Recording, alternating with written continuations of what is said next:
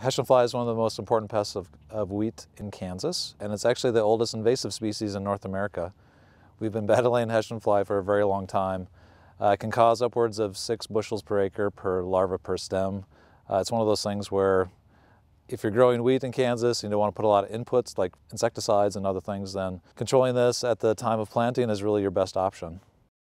Our work that we're exploring in this lab is trying to identify genetically resistant strains of wheat. And that resistance is a, a piece of genetics where if a Hessian fly goes into the wheat and tries to feed on it, then it turns on a gene in that plant that actually poisons the Hessian fly.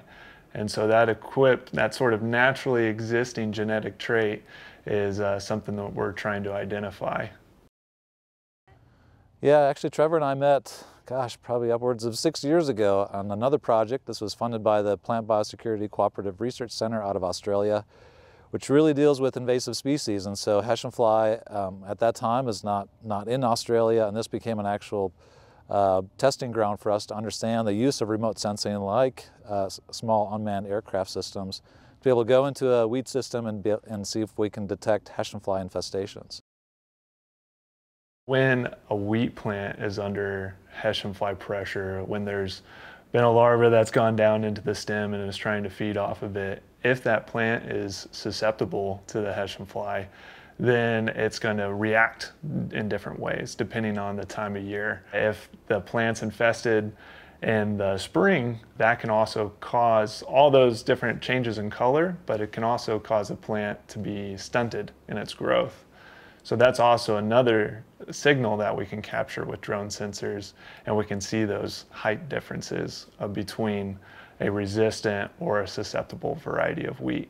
That's what I like about this technology and working with it is it helps prioritize a wheat breeder's time. It can also help prioritize a farmer's time to where you can map a field and then you can identify these areas that are struggling more than other areas so that can help then allocate, okay, I need to focus on this variety or I need to focus on this area of the field.